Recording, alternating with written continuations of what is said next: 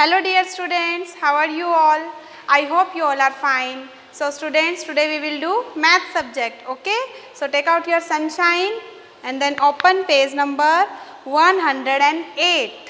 Today also we will do two concepts. The first one is long and short and second thick and thin okay ये हम आज करेंगे इससे पहले हमने सीखा था ना big and small tall and short पीछे वो आपने कर लिया होगा तो आज हम करेंगे long and short thick and thin so first है long and short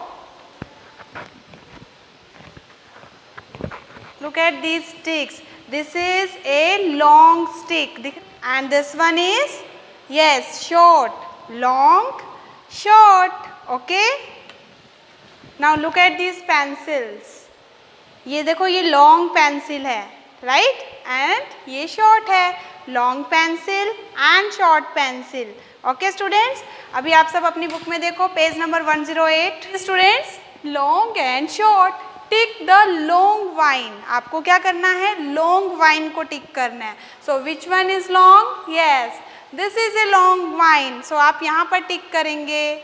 आपको अपनी बुक में भी करना है ओके लॉन्ग वाइन को आप टिक करेंगे. वेरी गुड बेटा. ओके डन स्टूडेंट्स आपको लॉन्ग वाइन को टिक करना है. Okay then next is thick and thin अभी थिक थिन क्या होता है? आपको पता है आपके पास सनशाइन की बुक है? तो आपकी जो सनशाइन की बुक है, वो देखो कितनी थिक है. सी मोटी, है ना? थिक है कितनी? और जो आपकी दूसरी नोटबुक्स हैं English C W math C W वो कैसी है? कितनी पतली है? Means thin so see this is this is a thick book and thin book thick thin students tick the thick objects and cross the thin जो thick होगा आप thick means मोटा। जो थिक होगा, आपको उसे टिक करना है और जो थिन होगा, उसे यस क्रॉस सी अभी थिक लॉक कौन सा है? यस दिस वन ये थिक है, आप इसे टिक करोगे। और इसमें से थिन कौन सा है पतला? ये थिन है। इसे क्रॉस करोगे।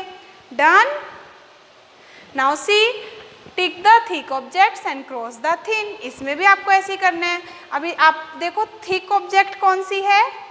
Yes this one so tick tick this thick object जो थिक ऑब्जेक्ट है, उसको टिक करेंगे and cross the thin object thin object को आप क्रॉस करेंगे okay this is thin object okay done student so आपको ये two concept long and short and thick अच्छे से रिवाइज करना है और अपनी सनशाइन की बुक में टिक करना है. Okay thank you